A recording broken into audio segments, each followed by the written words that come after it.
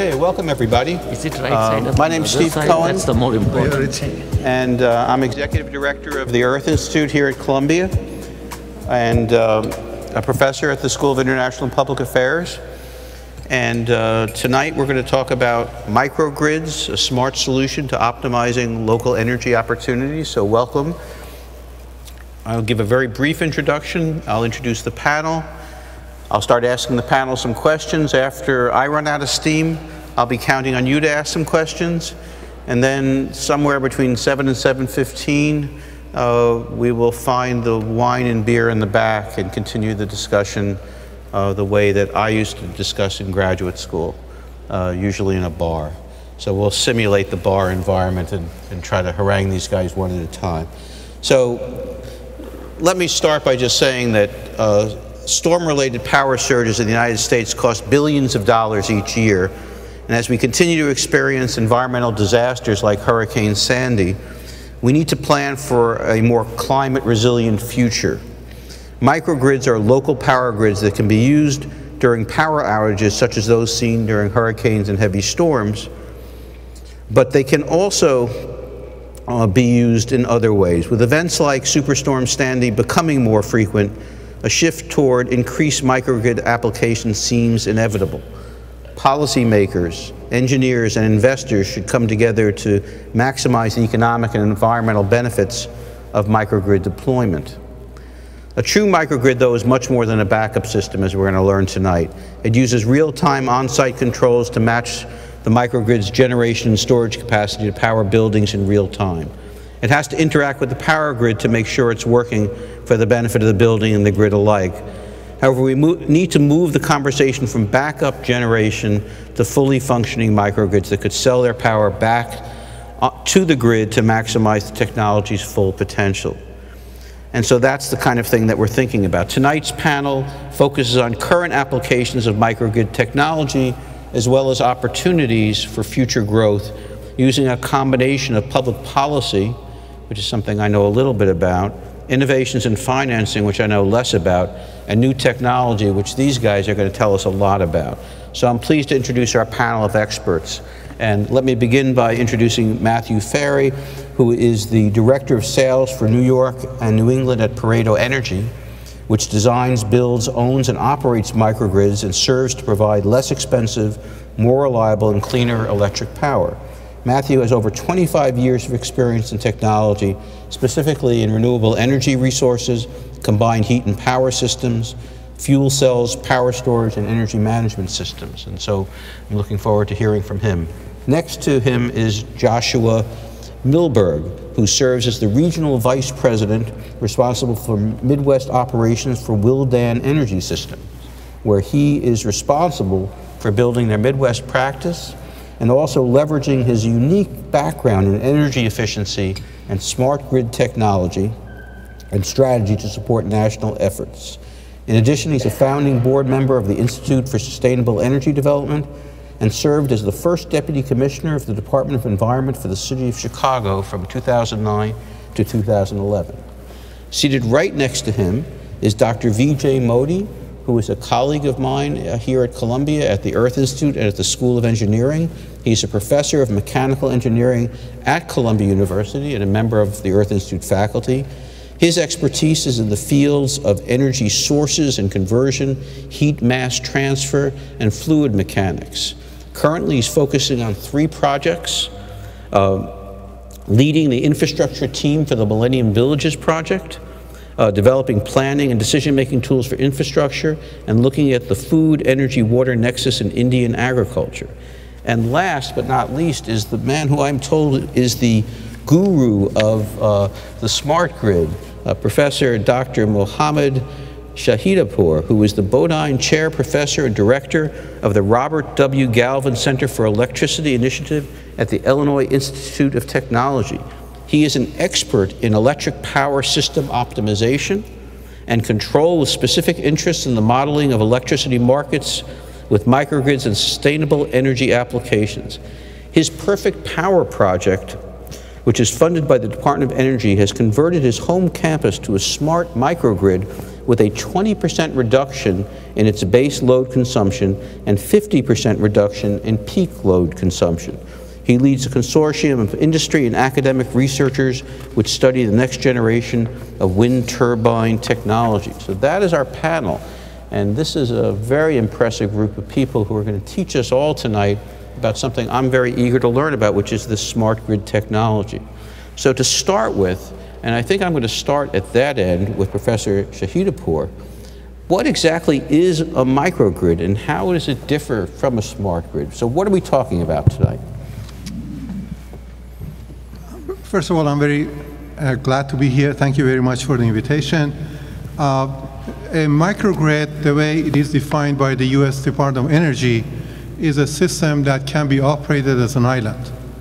So uh, you cannot call, let's say, building a, uh, a microgrid if it doesn't have its own generation. So uh, it is different from, let's say, traditional power systems because it really doesn't have any transmission system. The whole job is done at the distribution level, very much. And it, uh, what's the difference between a microgrid and a smart grid? Well, smart grid sets up a microgrid. So when you talk about microgrid, the elements of a microgrid represent a smart system, smart grid. I want to point out that microgrid is not a new subject. If you go to many third world countries and small villages, they used to have microgrids. There was a diesel generator or some kind of generating facility feeding power to the village without having any connection to the larger grid. What has made the subject to be intriguing, different, what we are discussing, is the fact that the elements are smart to the point that they can shift load, they can modify generation, they look at the uh, future opportunities for enhancing load and all of that. And one other subject that I want to bring up before I stop is that what makes the system to be smart, when we talk about smart grid, smart microgrid, is not the element that is smart, it's the people that are smart. In a sense, when we set up smart grid, let's say in Chicago or New York or somewhere else, we basically bring in the customers. So customer participation makes the system smart. Because in old days, the way you set up the system or you operated the system was there's an outlet, you plug your computer in, and the computer was turned on. But now you decide when you want to use power, how much you want to use, what the base is, and all of that. So the smart grid really is a smart customer, it's a smart user, not the smart system. Although collectively, everything is smart. So in other words, according to what you're saying, the U.S. Congress will never have a smart grid uh, technology for. Anyway, Vijay, why don't you add to that uh, definition, if you will? Sure. Thank you. First of all, um, I'm not an electrical engineer, so I'm going to try my. I'm not an engineer at all.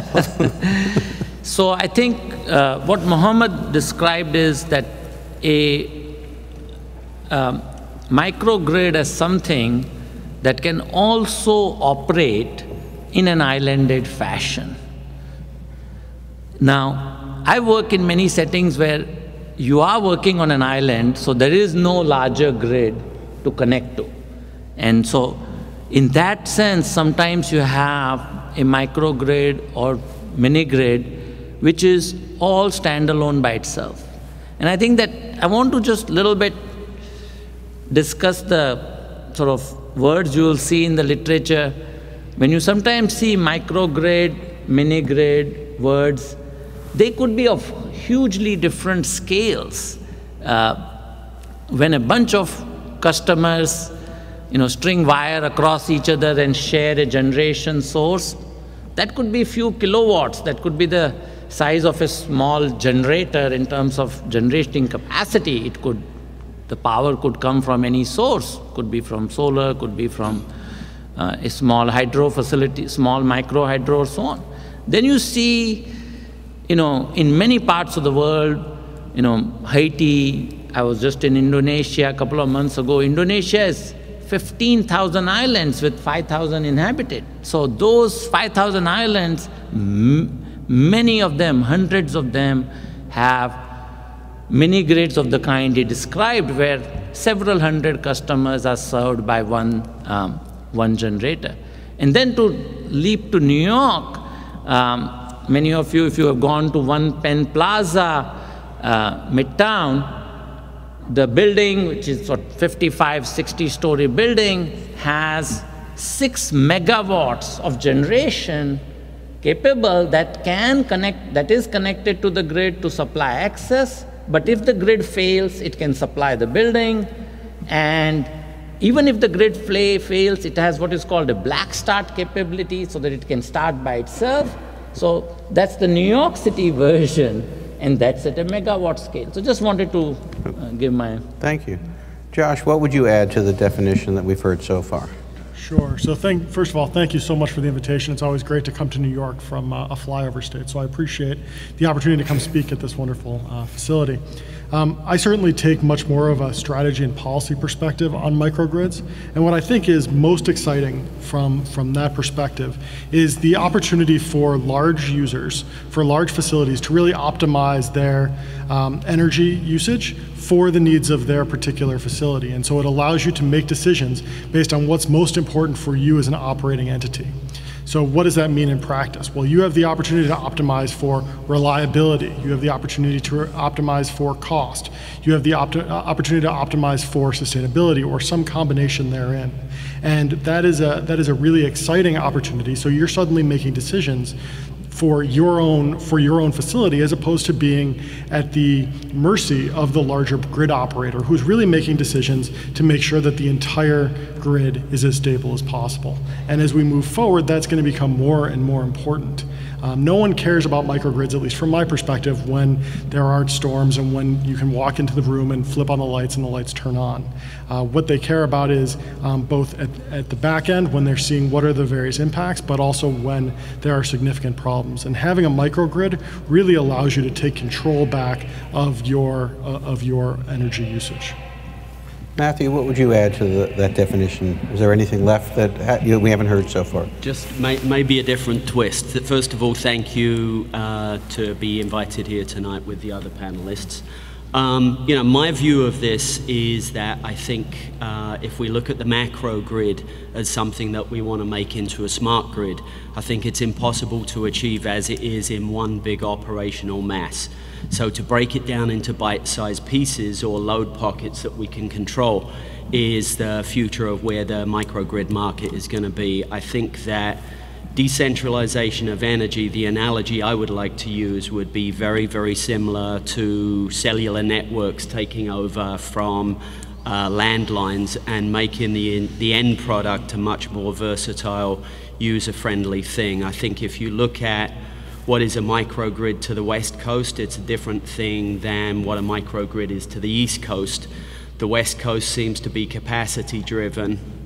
The east coast is reliability driven.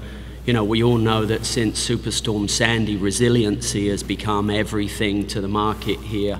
Uh, and our colleagues from Chicago here, somewhere in between the two, uh, capacity issues and reliability issues. But it's a way of breaking down uh, energy use into bite-sized pieces, lowering losses from transmission waste and also lowering carbon footprints and passing savings back to the users.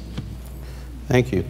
You know, I, I, was thinking about, I mean, I teach management, so one of the things I've noticed uh, in the way organizations are run around the country is that uh, big vertically integrated companies uh, have pretty much disappeared and are replaced by networks of organizations in part because of advances in shipping technology and communications technology. One of the only places we haven't seen this yet is in the energy industry, and in particularly in, with, with electric utilities, but I think you see the same thing in all aspects of the, of the energy industry. So let's talk about the winners and losers here. Let's talk about the utilities. Uh, are they likely to be interested in this? Uh, what would their take be on it? Uh, what's their attitude been? We'll, we'll start at this side and work our way down that way. So Matthew, you get the first crack okay, at that Thank one. you. Um, I think that, you know, the, the winners and losers, we can look at the situation differently. It could be a win-win situation for everyone. I think that microgrids are very well suited to public-private partnerships in the right circumstances. I know the utilities have some difficult constraints uh, with legally what they can do as far as owning generation assets. There's nothing to stop the utilities getting into this market, improving the resilience of their grid, and rate basing and making money from the microgrids. So it's, it's a shift of the, the business model. Nobody's trying to put them out of business. Okay, They Josh, do a what, very good job. okay, Josh, what do you think? Can we, are the utilities in favor of this? Uh, What about those commissions that run the utilities?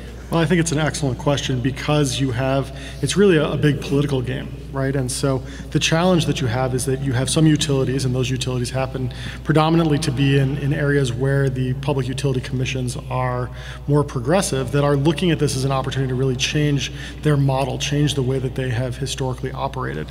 I think that the challenge is that you are talking about very large, slow moving organizations with cultures that are very resistant to change. And at the same time, you're talking about CEOs who are uh, hung in absentia when, when the lights go out. And so, how do you make sure that they they need to feel confident and comfortable that the technology is there and the technology works.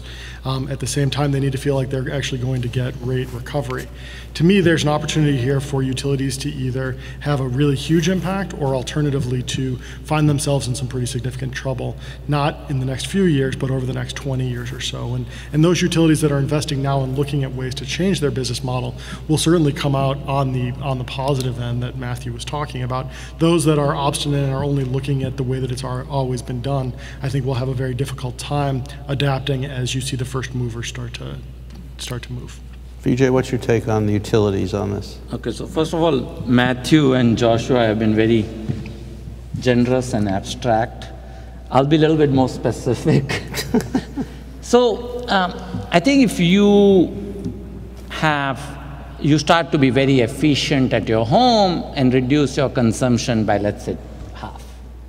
Or you start to generate your own power, half of the power. What is the utilities perspective going to be? So, I'm, the New York City tariff structure today is such that if I, as a homeowner, only about one fourth of what I pay to Con Edison actually goes for the electricity that Con Edison has to buy. So, if I reduce my consumption or start generating less, what the utilities claim is going to be that three fourths of its costs are actually not changing. right? That they are fixed. It sounds Now, like tuition, actually, doesn't it?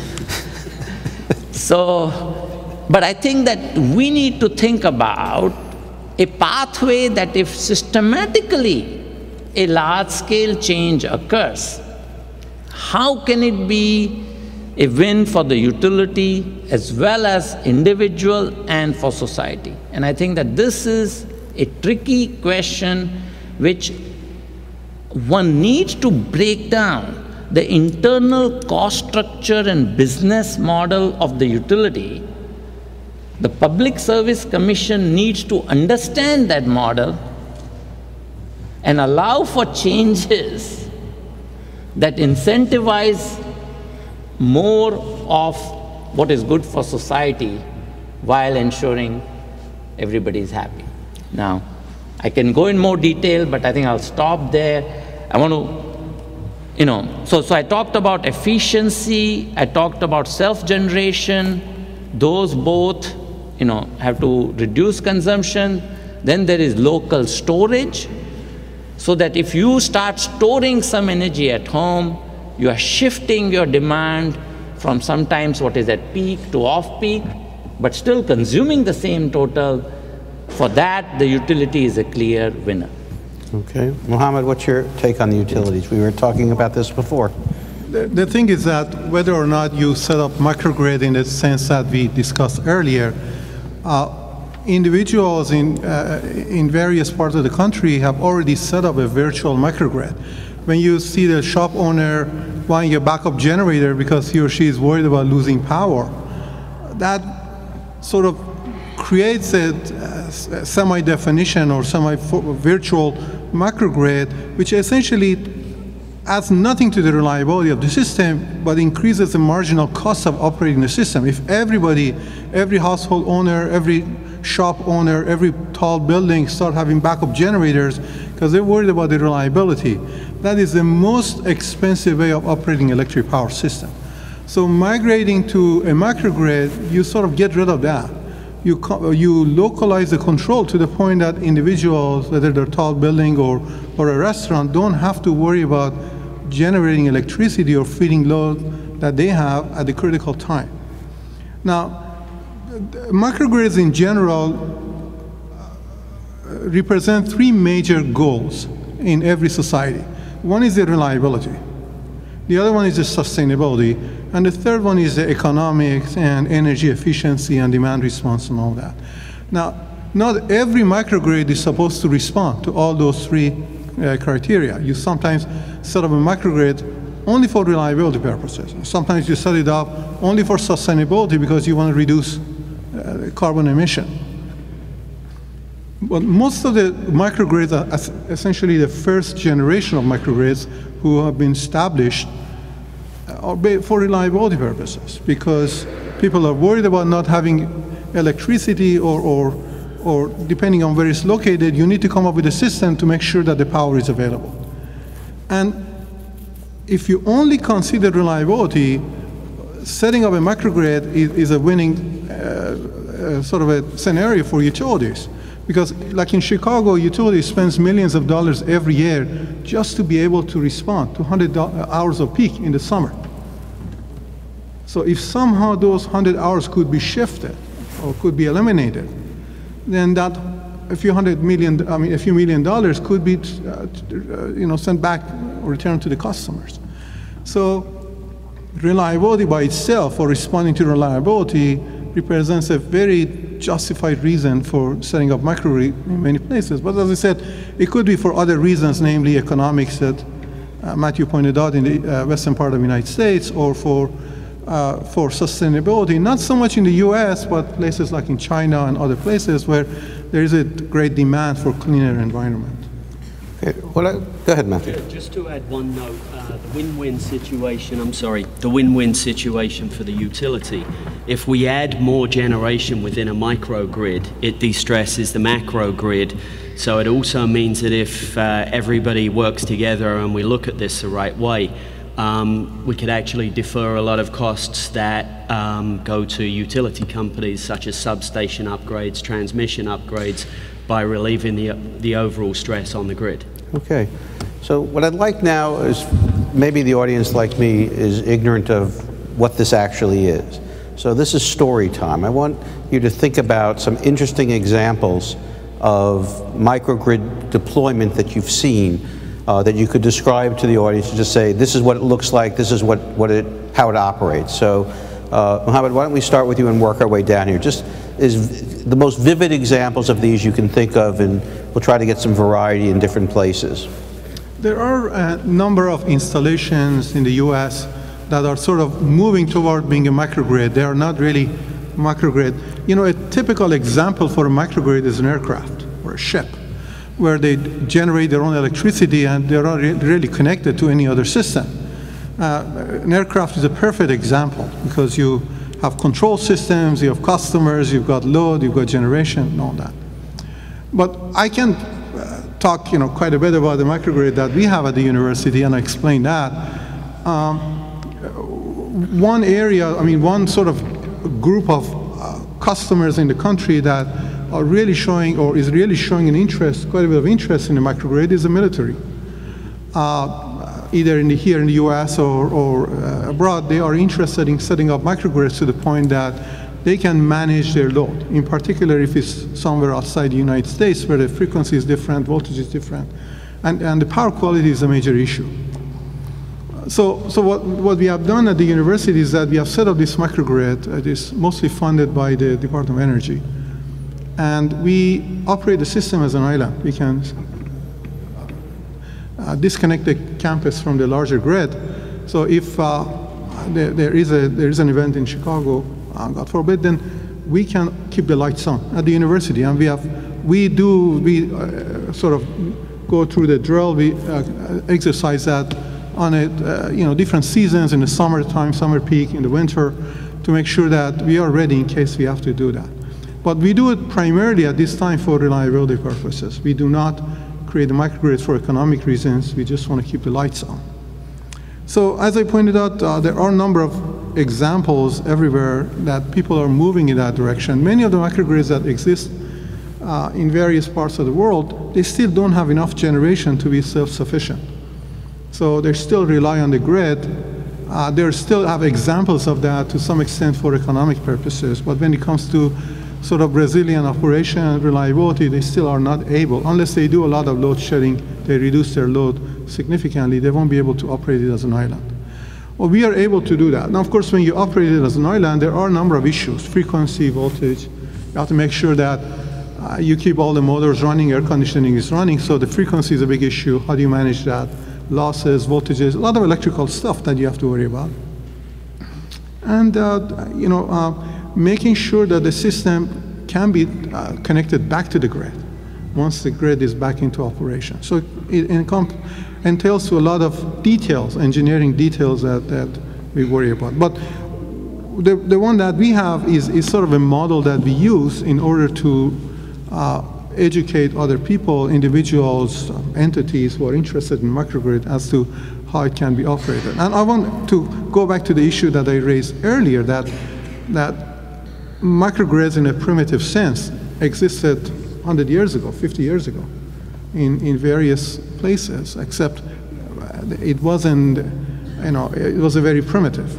But there were examples, there are examples, and in particular, you'll see that in like remote locations in other parts of the world where uh, the system is operated as a microgrid. Uh, you know. We worked on a project a number of years ago in the northern part of Canada where, uh, you know, these those uh, summer resorts where they, it's truly a microgrid. They have a local generation and they turn it on when people show up in the summer. And in the winter, when people go back home, they turn everything off. Of course, they don't do any demand response. They don't do any, any fancy uh, you know, frequency control and all that. But they operate the system. And if, uh, if there's a problem, they turn the lights off, everything off if they cannot manage it. But it is, in, based on the definition of the uh, U.S. Department of Energy, it is a microgrid. Okay, Vijay, some examples? Sure. So I'll talk a little bit about our work in Africa. Um, we, are, we were in, a, in, a, in many countries in Africa and in India. You have utilities that because of complex political economic reasons are not viable or not making money. They are unable to provide reliable service to the customers. And as a result, they don't have the capital or financing to actually expand their networks to reach customers that are currently not having service. There are probably about 500 million in sub-Saharan Africa. There are probably 400 million such people, 500 million people in India. So you're talking about little over a billion people in a setting where the utility is not reaching them. So we thought that is there a way we can make this problem, and I like what Matthew described, bite-sized, can we sort of unlock finance at a small scale, kind of like could be a franchise model, could be a bite-sized model where somebody could locally invest in a local grid, which would potentially be connected to the larger grid in time. Kind of the exact opposite of what we are talking in the US, where we started out big and now trying to island ourselves, right? So here, in this setting, you know, what we learned is that value engineering, so really thinking about driving down costs of smart metering, thinking modular, we have deployed 16 such microgrids and they are really small. So each grid is reaching maybe 20 customers.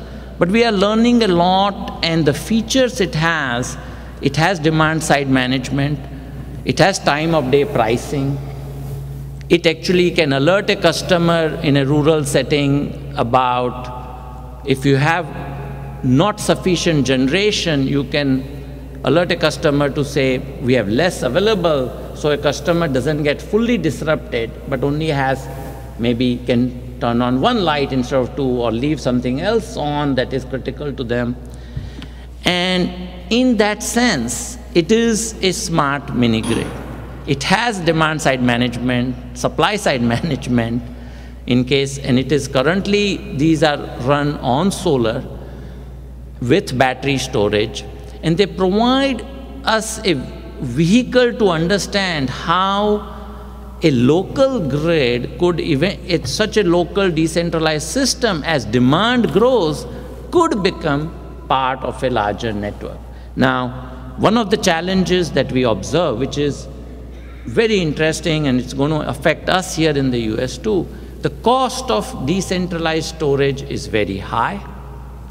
Currently, one is using lead acid batteries, but there are innovations along the way that will allow that to change and you know, we are looking at those, how to integrate those. So how to minimize storage through good management and how to improve storage capacity is a lesson that is coming out of this work. And, but one thing we are learning, which I think Mohammad hinted on, that even the very poor value reliability, they value the ability to make small payments, and they value a service-based approach where they don't have to own the utility, so to speak.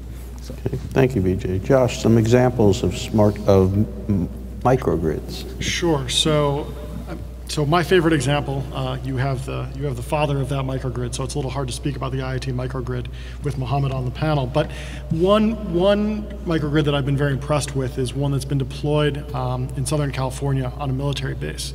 And what I what I particularly enjoy about it, and one one point that I didn't make in the last question was there are things that utilities are historically good at and continue to be good at, which is providing reasonably reliable, although depending on where you are, that changes, reasonably reliable and reasonably inexpensive power uh, on demand and when you need it.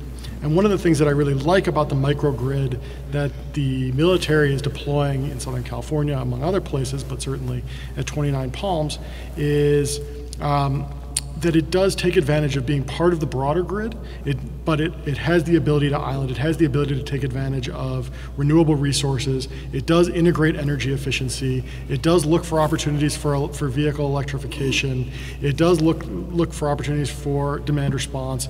Um, but what I particularly like about it is that it is also looking at, at creating a brain on top of all of this. And, and, when you think about microgrids, the independent technologies are not in and of themselves very, very sexy or new. It's what, what makes them exciting is this brain on top of them that makes them that makes them usable. And I really, I really like where, where we're going with that. You're seeing that in the military, you're seeing that at IIT, where you're putting together these algorithms that really allow you to optimize for what matters to you, um, but also take advantage of what utilities are historically pretty good at, which is providing, providing uh, cheap electricity, here, at least here in the U.S.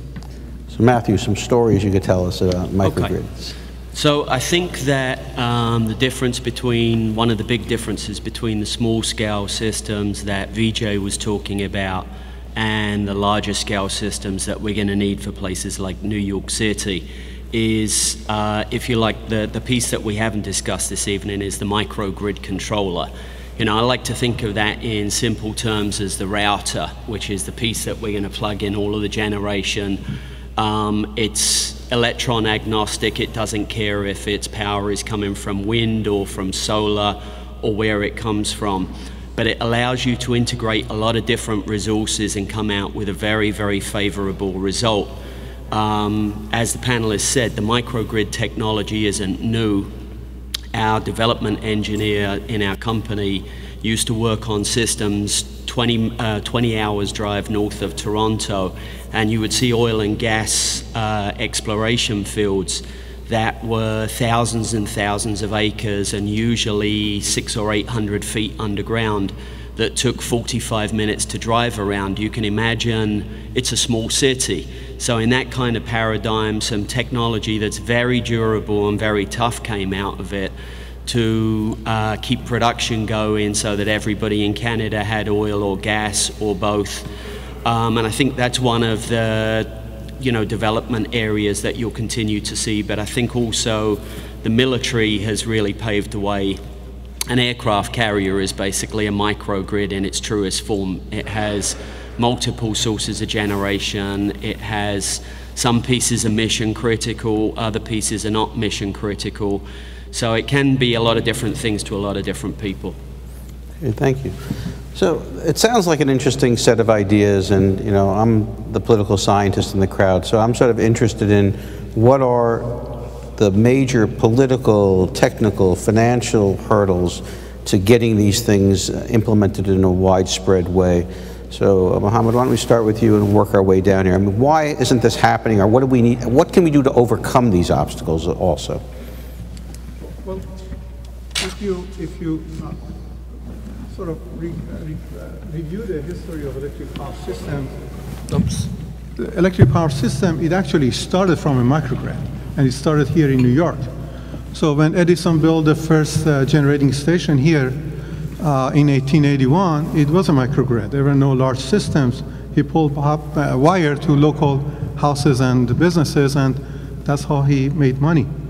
So then we started building this large uh, generating system because it was more economical, because we had large hydro, large coal, large nuclear, and it was those uh, resources weren't available in every neighborhood. So we built this large transmission system that's divided into three regions in the US in order to supply power more economically. But one of the reasons that the, the political side of it hasn't worked is because utilities still cannot see a benefit in setting up, sort of dismantling this system and setting up microgrids. Uh, we have to realize that uh, up to maybe 15 years ago, this was a very monopolized, subsidized uh, operation in the US. So we are going through stages of dismantling, unbundling this system and creating microgrid, and it's not going to take, it's going to take longer. It's not going to happen immediately because utilities still have control over uh, ownership of the wires and ownership of, of this uh, generating systems. In a sense, you can set up a microgrid in your system, but if the generating facility is not inside that microgrid that you have, you still have to permission. You need a permission from the local utility company to use the wires to bring power to your uh, place of consumption. So, and, you, and utilities have not released that ownership, and they still resist the fact that you want to set up a microgrid. And, and their view is that if you set up a microgrid, you're essentially taking the load away from them. Well, the fact is that utilities spend quite a bit of money now on enhancing the reliability, like what happened here in the Northeast not long ago, and what happened in the 2003 again here in the Northeast. That costs so much money. So localizing control and breaking the system up to the point that uh, locally and regionally you can decide on the, on the operation of the system is going to be more beneficial to everyone. But uh, from a political point of view, they don't see it that way. And the reason they don't see it is because not everything is not defined. Still going through evolutions and revolutions. Until the business is settled, utilities are not going to relinquish what they own, and only until they uh, release that sort of ownership and uh, management of that piece of equipment, microgrids may not be set up. Okay, Vijay, what are the obstacles you see, and how would we overcome them? So, let me describe where it is working, and then I'll point out the obstacles. So, if you are a hospital, or you are a university, or you are a large campus, and if you have a combination of diverse loads, some are office loads, some are residential loads, and the fact that you are a single entity as an institution, then today microgrids are both economically viable and provide reliability and negotiate something with the utility that is beneficial to both. So NYU is just deploying, uh, many universities have done it, Columbia is very seriously considering it, and so on. One of the big you know, pluses has been, especially in the Northeast, you know, if you generate your own power, the waste heat can actually be utilized within your campus for domestic hot water, for space heating, so that provides an extra bit of benefit as well uh, to the campus. And you know, offices use more electricity, uh, residences use more heat, so having those mix. Now, I want to put in a plug for a study we did. The map is on the Columbia record. Bianca, who did a lot of the work, is That's sitting in vjmodi.org here. But what we try to look at is, if we try to look at all the 900,000 buildings in New York, the same mix of buildings also exist within private owners, except there are multiple different owners. So if we could, you know, and, and what's the bottleneck there? There are two kinds of bottlenecks that I see. One is simply the transaction cost of 10 people sitting down and agreeing to something, creating a legal vehicle for it, creating a third party entity perhaps that takes over that, that negotiates with. So my view of this is that currently it is being done as one-off projects. I am in, and that requires one-off engineering, one-off going to Department of Buildings, one-off permitting, very expensive.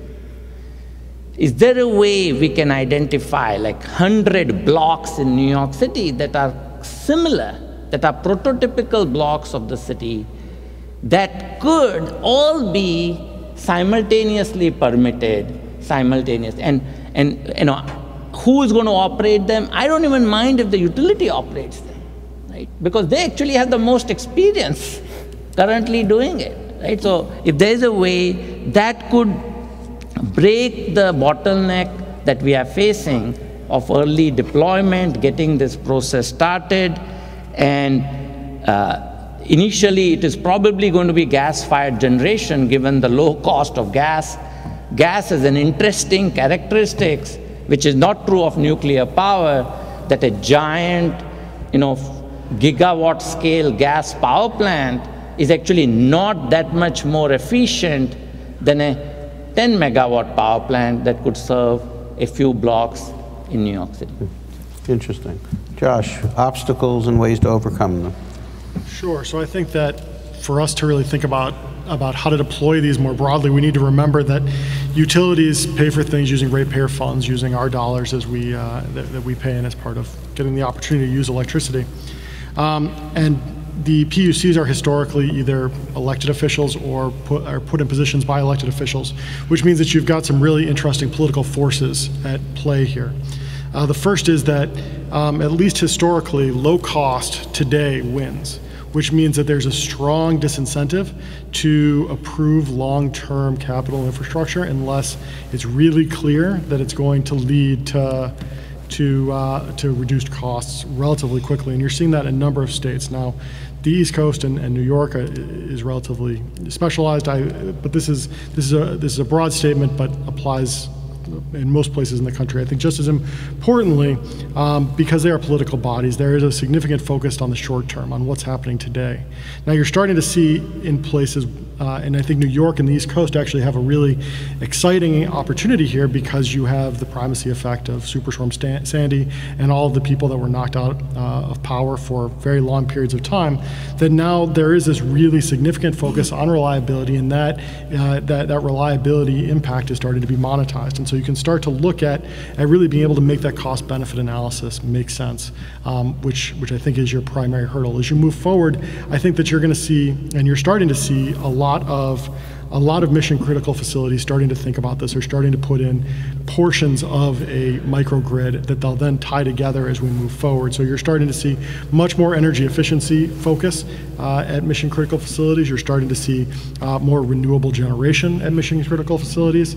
You're starting to see building energy management systems and even uh, distributed um, distributed storage at these mission critical facilities. Now you just need the brain that goes on top of that that tells it how to operate. And I think you're going to start to see that moving forward. So what we're going to see uh, in the next five years, I would say, is, is a hybrid model where you've got your macro grid and then you've got your micro grids as you start to deploy outwards. But there's a huge political challenge of getting people okay with the fact that they're going to pay a little bit more now for benefits over uh, a longer period of time when it comes to electricity. Thank you. Matthew, what, what are the obstacles that you see and how would we overcome them? I think that uh, the, the biggest obstacle today is that um, technology approval for the way that we're trying to do things versus traditional interconnection um, is a whole new paradigm shift for the utilities and it requires new protocols. So we're actually sort of on a daily basis imagineering, if you like, a new um, way to do things with the utilities, and they're being receptive, but it's a long haul. Um, I've spent two and a half years developing a project in Brooklyn that I spend two, three days a week pushing the 200 ton concrete ball up a hill. And, you know, I get small victories and I bite off little pieces at a time and then move on. But I think that making the utilities understand what we're trying to do is of key importance. Um, it's not to demonize the utilities at all. Their first protocol is to make sure that what we do, A, doesn't damage their grid, and B, doesn't hurt any of their line workers, and nobody wants to see that. But at the same time, I think that this is a newer way to do things, and it's a better way for everybody.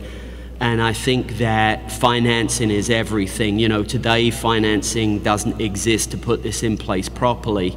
And I think two ways that that potentially could be done. One is infrastructure financing, which has been done very, very successfully in France. Um, there was an energy efficiency infrastructure fund which was backed by the French Teachers Union, and they became a financial partner in the project and got some multi megawatt wind and solar systems done and then the cost of the project was amortized and turned into a power purchase agreement.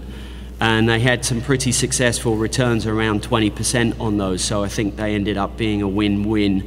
I think New York City and Toronto and London could take a page from those books and get uh, the local governments. We would love to see New York City participate in helping to set up a group of people to finance those. And then, of course, the other option is for you to form a partnership, a public private partnership, as some of the other panelists discussed. Um, you have to be very careful because there are some, some constraints there when you take multiple buildings. A university campus is a great example because the university use, usually owns its own distribution system. But in an example like the project in Brooklyn, we're going into some very, very grey areas. We're trying to cross public roadways. And a lot of people scream uncle as soon as you start to do that. But if you take it little by little, you can achieve your goals. Yeah, thank you. Go ahead. Go ahead. Uh, uh, basically, I want to add uh, something to Matthew pointed out, and that is in suburb uh, suburban locations in Chicago, um, uh, Josh and I have worked on uh, with the local uh, governments to set up, or at least look into the possibility of setting some microgrids. The problem they have goes back to what Matthew said, and that is, since they do not own the local distribution system, it is almost impossible at this time to set up a microgrid. If you take a suburban location, I live in a suburb in Chicago called Naperville, and they own their own grid. So we have our own microgrid. We set it up because city owns the grid so they can do whatever fancy things they want. But in other parts of uh, Chicago area, because suburban locations do not own the grid, and the grid is still owned by the large, larger utility, no matter how much they try, until we change the political picture, they will not be able to set up a microgrid because utility controls the electrons and runs on those wires and at this time it's impossible to sort of take the ownership of that. But, but also want to point out one other thing, and that is the political issue is because there is a major shift of paradigm. We're talking about the system here in the US, and I have to be careful because much of the funding for my work comes from utilities. um, you know, we're taping about, this. we're talking about a system where if you don't have power in your house, you have to pick up the phone, call your local utility, and then an hour later you see the utility truck driving around the neighborhood looking for a feeder that doesn't have power. I mean, the system cannot automatically identify the location and reclose the breaker to the point that you'll have power. Now, by the installation of these smart meters, the utility company and control system within the utility will identify the location and fix that. But setting up a microgrid is such a major shift of paradigm that political change and whatever we need to do in order to set up the microgrid will take quite a bit of time. And it's not going to be an easy, task. Okay. So, thank you. At this point, what I'd like to do is uh, see if there's some questions from the audience. We have time for about three or four of them. Um, let me just ask you uh, first if, uh, to raise your hand if you'd like to ask a question. I'd appreciate if it was a question and not a small speech. Uh, and if you could tell us who you are, that would also be nice. So, somebody want a, a question over here? Do we have a microphone in the front row?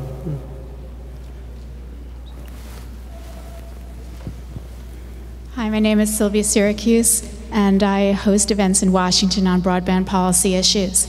And so my question is, um, what role does broadband access and broadband speeds play in the success of microgrids? And can they, um, can, can higher and better access increase the likelihood of the success of microgrids? Okay, anybody want to take that? Matthew? Uh, I'll start with that. Uh, the answer is yes, yes, and yes. Um, I think. I'm sorry. Can you repeat the question? Sure. The question was concerning the impact of broadband in the reliability and the success of microgrids. And I think that um, you know control paradigms are going to be everything, as the panelists discussed, with building management systems, with integration with other forms. Something we haven't even touched on yet, which is electric vehicle charging, and how to manage everything so that it all happens uh, simultaneously and in a synchronized fashion without anything breaking. So access to broadband will be everything. Uh, the brain piece that Josh was talking about, overlay on the top, the control algorithms are everything. If you don't have that, you don't have a microgrid that you can control. And obviously, you know, one other thing to touch on with that is cybersecurity. So it's important that it's going to be an encrypted data protocol so that everything can remain tamper-proof. Okay, another question from perhaps this side? Uh, let's see, in the back there. Okay. Hi, Bruce Rosen, uh, a member of the general public. I'm assuming that the uh, beneficialness of a microgrid would be economic and environmental. And I'm wondering if you think that the focus should be on sustainable forms of energy rather than reinventing reuse of carbon or nuclear sources. Anybody want to try that? Mohammad? There- uh, As I pointed out, there are basically three uh, benefits. There are major reasons for setting up a microgrid. The foremost is the reliability, and the other two are sustainability and dealing with the issues like carbon, and the third one is economics. And in that respect, uh, setting up the local systems to the point that you can manage your load, shift your load to the point that you can reduce uh, the carbon emission in, in a form of a microgrid makes it much easier. Uh, in Chicago, uh, over 50%, in the northern part of Illinois, about 75% of the power generation is nuclear. And the other 25% is coal, some hydro, some gas, and all that.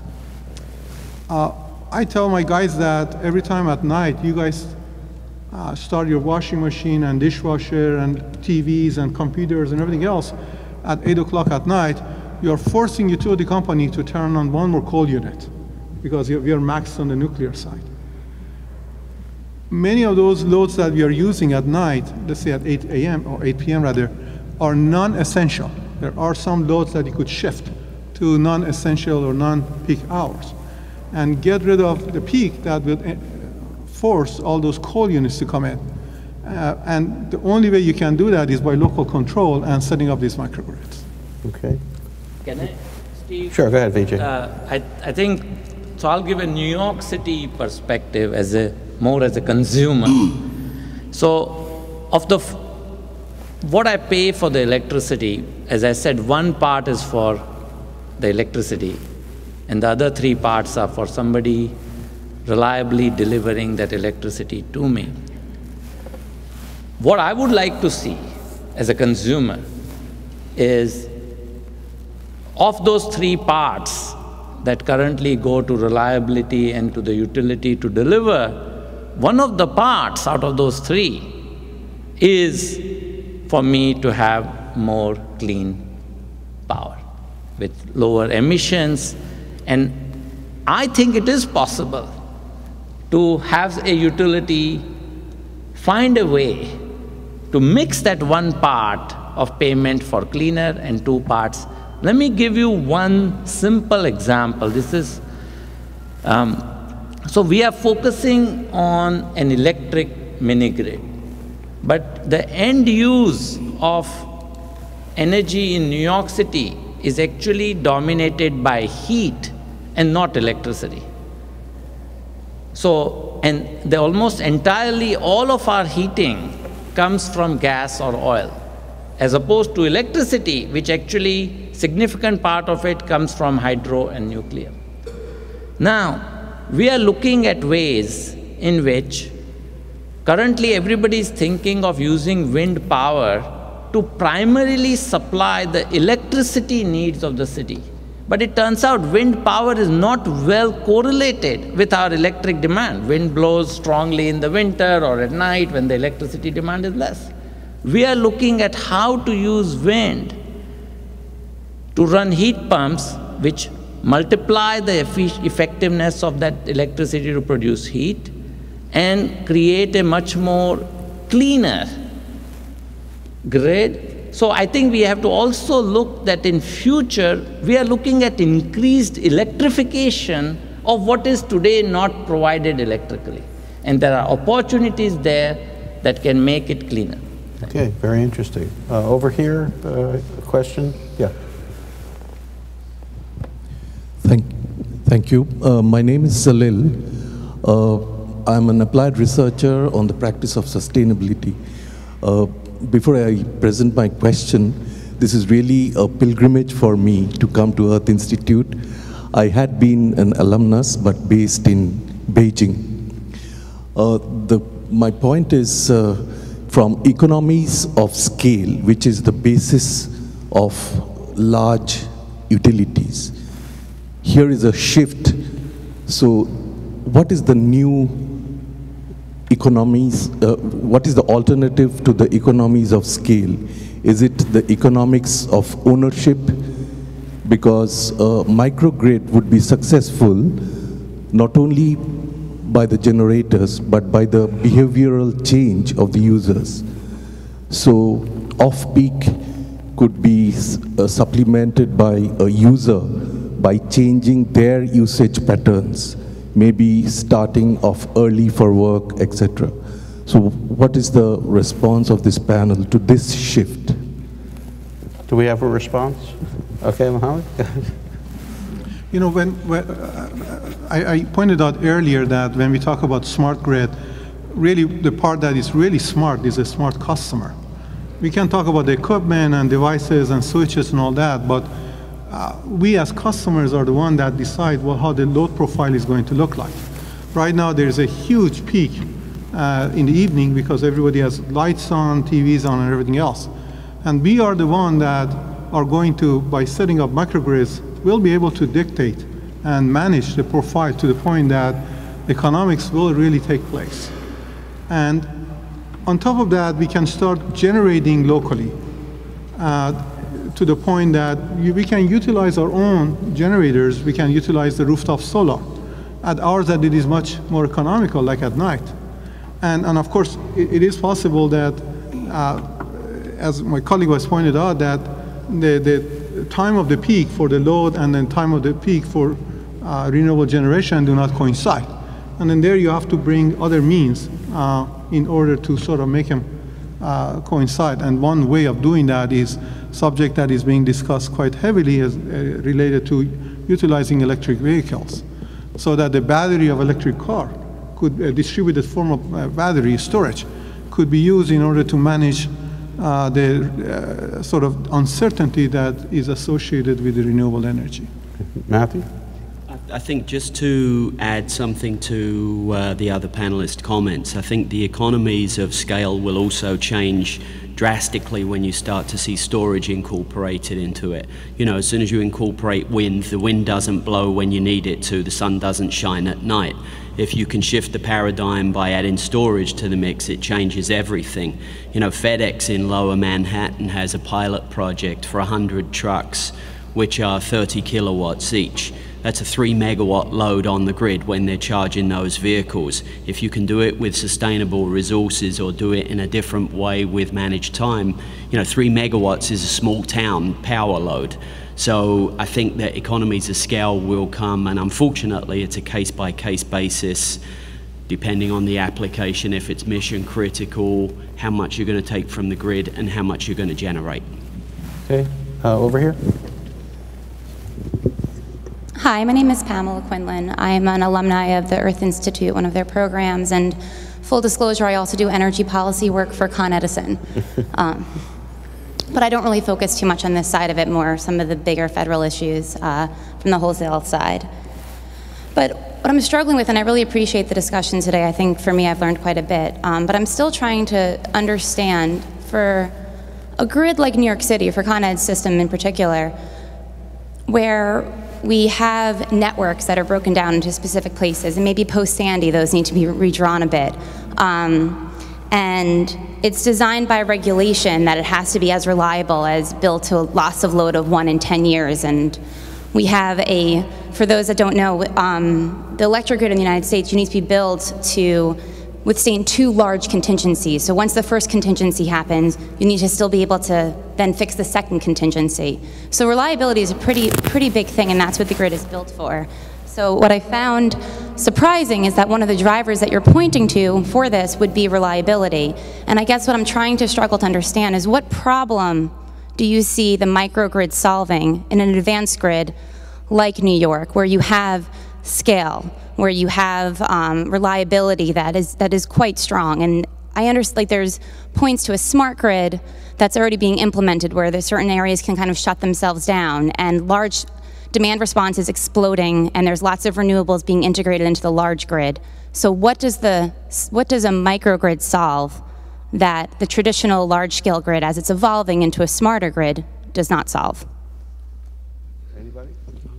You want to start, Matthew? No, sounds like you have a little interest in this question. Yeah, I, I think that it's something very uh, close to my heart. So I think if you look at uh, how reliable was the grid, and this is not to demonize Con Edison, they do a tremendous job, and they're Yeah, very we have forward and de- thinking. demonized, so we don't just. Um, right. but there were tens of thousands of people in NYCHA housing complexes without power for eight, ten days.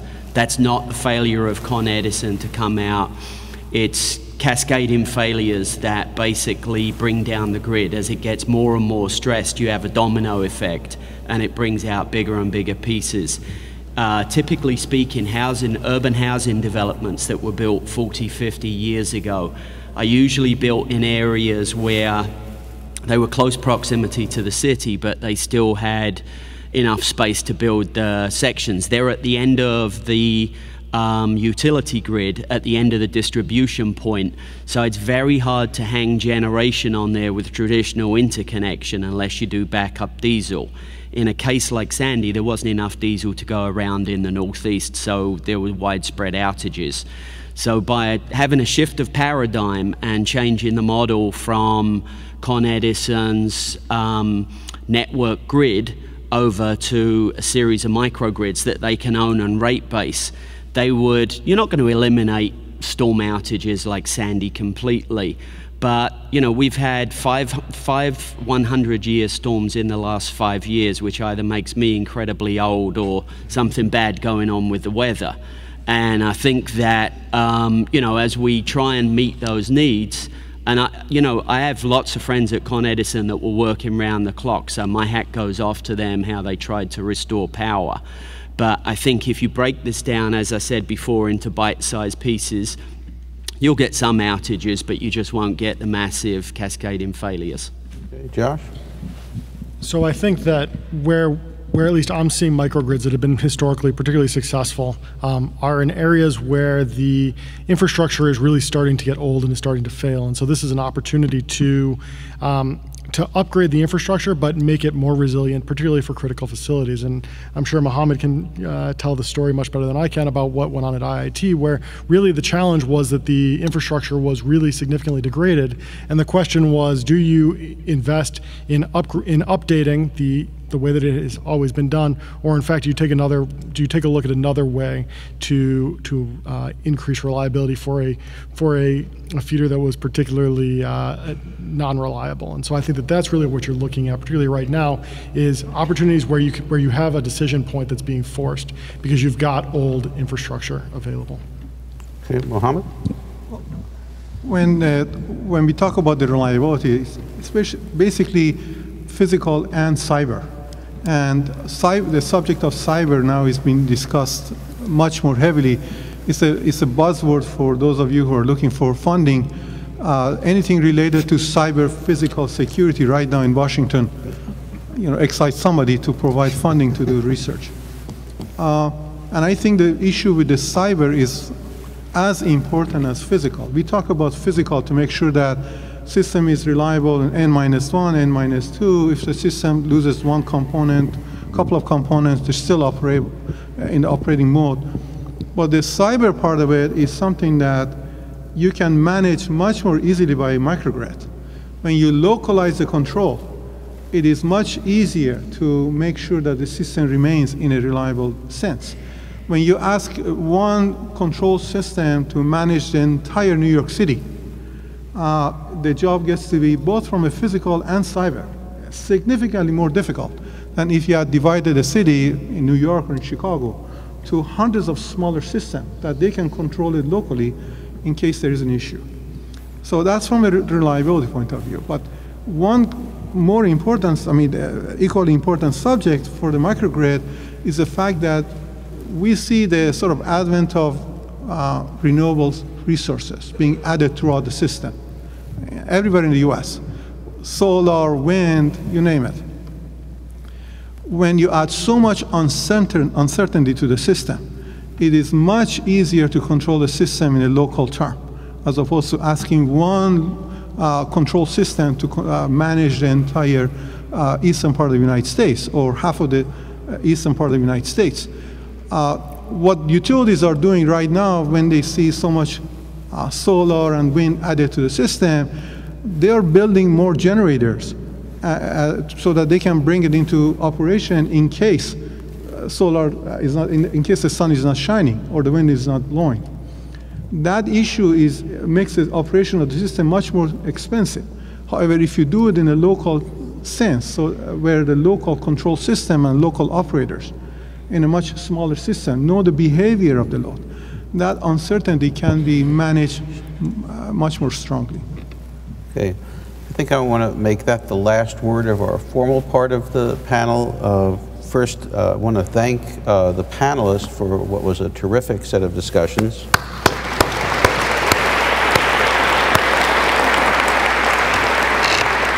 And uh, I hope uh, that you will stay with us and the panel will stay with us. We have uh, in the back of the room refreshments, and I think it would be really a good, uh, energy efficient way to continue this discussion, uh, to move to the micro brews uh, in the back of the room uh, and continue this discussion informally. Thank you all for coming tonight.